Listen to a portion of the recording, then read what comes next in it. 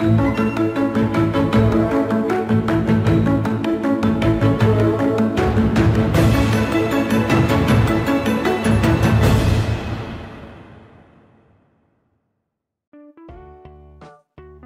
chicos, continuamos con el proyecto 4 de la semana 1. Hoy realizaremos la actividad número 2 denominada Sé cómo actuar antes de un desastre natural para cuarto grado. Pide a la persona de mayor edad de tu familia o que viva contigo que te cuente cómo era antes el clima en el lugar donde vives. ¿Por qué creen que han cambiado? ¿Han vivido o conocido de algún desastre natural? ¿Cuál? ¿Cómo fue? ¿Cómo lo superaron? Escucha atentamente la narración que hace tu familiar. Si no entiendes algo, expon tus inquietudes y pide aclaraciones para que comprendas el mensaje. Pide a un familiar que escuche el cuento que vas a leer en voz alta. El cuento se titula Cuando la naturaleza se enfada, de Isidoro Ballesteros. Cuando la naturaleza se enfada. Hay veces, dijo el abuelo, que la naturaleza parece como que se enfadara. El mar, que era antes era tranquilo, ahora se agita, se pone bravío y las olas chocan con las rocas de la costa dejando una estela de espuma blanca. Otras veces, una montaña desde las profundidades de la tierra arroja piedras incandescentes y lava a la superficie. En algunas ocasiones, la corteza terrestre se agrieta, todo se mueve. Las casas que están en la superficie se destruyen o se deterioran. ¿Sabes cómo se llaman estos fenómenos de la naturaleza? Sí. Cuando sopla muy fuerte el viento sobre el mar, se produce una tempestad. Una montaña que arroja lava es un volcán y cuando la tierra tiembla es un terremoto.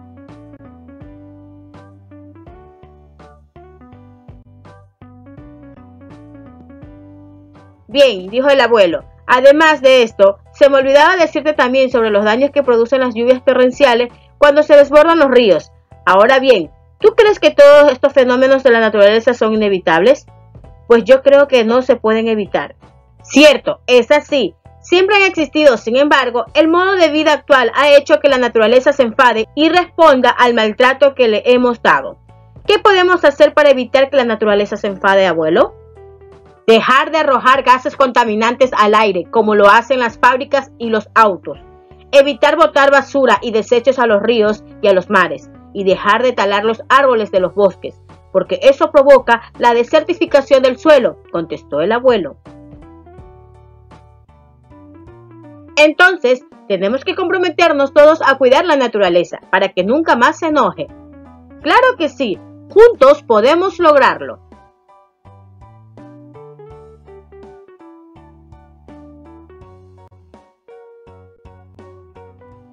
Observa tu entorno y conversa con tu familia sobre cuáles son los accidentes geográficos, lugares naturales como quebradas, montañas, playas, acantilados, entre otros, que hay cerca de tu casa. ¿Qué riesgo podrían correr las personas? ¿Qué deben hacer antes de que ocurra algún desastre natural?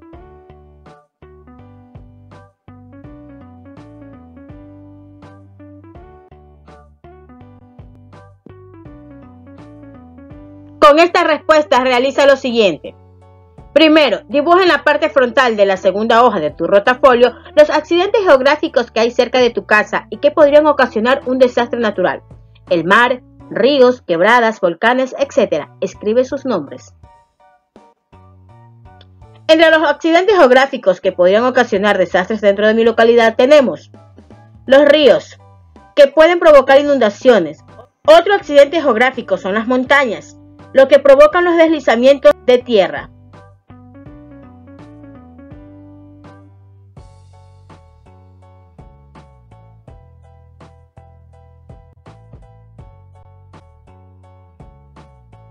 Segundo, en la parte posterior de la hoja, escribe las características que los hacen peligrosos. Piensa qué deben hacer antes de que se produzca un desastre natural que pueda amenazar la seguridad de las personas o de tu familia. Características. Las inundaciones y deslizamientos de tierra son los desastres naturales más frecuentes y peligrosos en términos de pérdidas humanas y económicas. ¿Qué hacer antes de un desastre natural? Anticipar el peligro identificando los sitios de alto riesgo de tu casa, centro educativo o lugar de trabajo. Reunir a la familia para definir de forma participativa un plan de emergencia y rutas de evacuación. Asegurarse de cortar todos los suministros de todos los servicios como electricidad, gas, etc. Preparar una reserva de alimentos y de agua de emergencia. Armar tu kit de emergencias y suministros.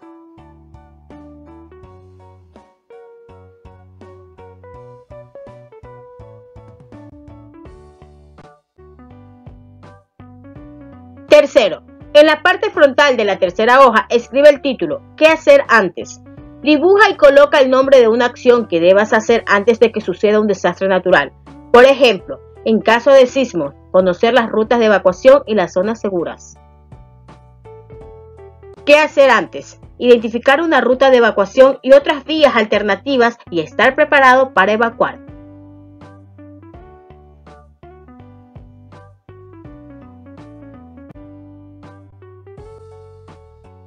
Cuarto, en la parte posterior dibuja y escribe otra acción. Por ejemplo, preparar la mochila de emergencia. ¿Qué hacer antes? Tener a mano el kit para emergencias.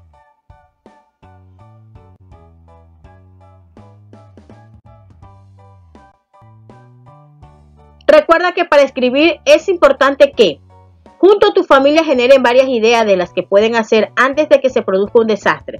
Luego debes seleccionar las más importantes y escribirlas en una secuencia lógica, usando correctamente las reglas de escritura, las mayúsculas, las tildes y los signos de puntuación.